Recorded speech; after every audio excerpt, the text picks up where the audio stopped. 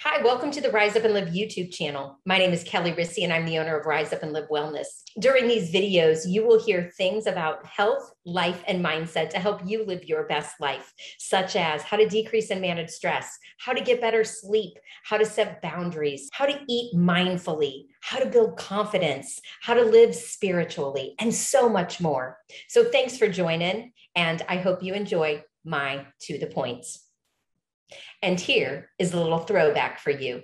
So, today we are talking about confidence and why certain people just, you know, confidence just beams out of them and uh, how you can be just like them. So, today um, I've just been thinking a lot about confidence lately because a lot of women come to me and, you know, they have they have these goals, but the underlying issue is that they always want more confidence, right? So, why do people want to lose weight?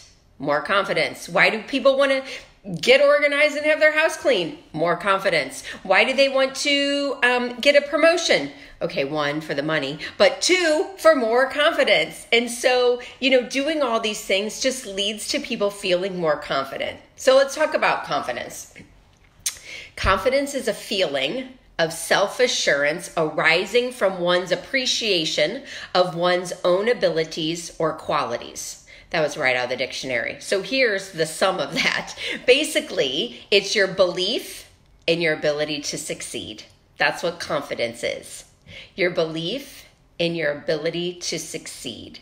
And so right now I want you to stop and I want you to just, you know, rank yourself on a scale of 1 to 10. Where are you in that?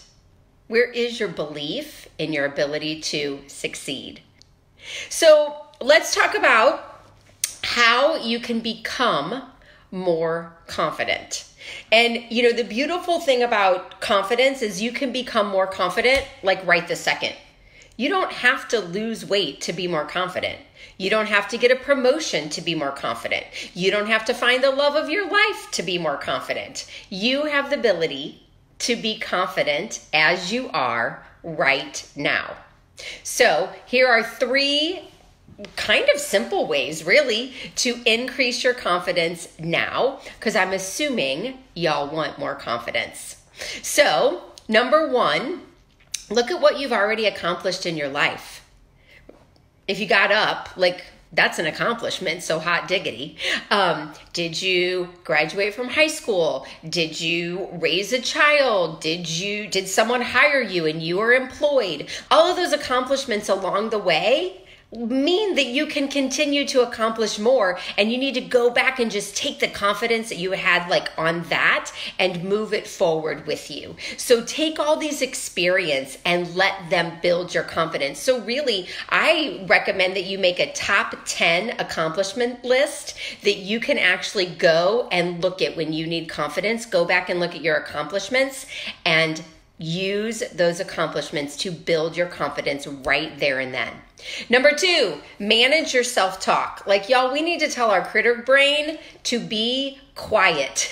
and we need to start, if you're not already, start saying positive affirmations, such as, I have confidence. Sometimes we need to say it until we believe it, but if you keep saying it, you will believe it. So I have confidence. I am successful. I can achieve my goals. Whatever those affirmations are that you want them to be, that is number two of building your confidence, is really just managing your self talk. All right, we're already on tip number three. So, number one is to look at what you've already accomplished in life. Number two is to manage your self talk. And number three is to set small goals. So, accomplishing small goals and really seeing the success of that accomplishment, like, oh, I did that small goal. What do small goals lead to?